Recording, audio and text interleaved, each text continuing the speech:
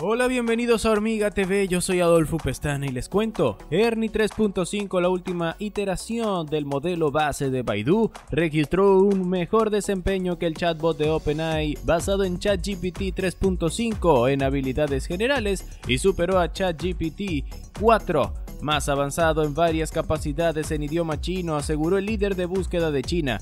La empresa citó una prueba del periódico estatal China Science Daily, basada en conjuntos de datos que incluyen AGE Evil y C Evil, puntos de referencia diseñados para evaluar tales modelos de inteligencia artificial. El nuevo modelo de Baidu también mejoró su eficiencia de entrenamiento e interferencia, lo que hizo que la iteración y la actualización a futuras versiones fuera más rápida y económicas. El rival ChatGPT de la compañía ha estado en pruebas beta públicas durante los últimos tres meses.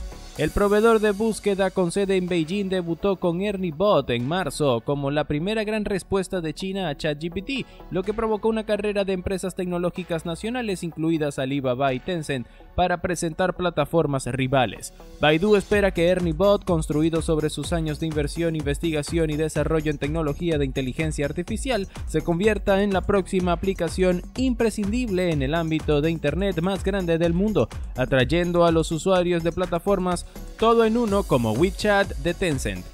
La empresa está integrando ErnieBot en múltiples líneas de negocio, desde computación en la nube hasta parlantes inteligentes. Baidu también ha reservado un fondo de riesgo de 140 millones de dólares para invertir en nuevas empresas similares a OpenAI.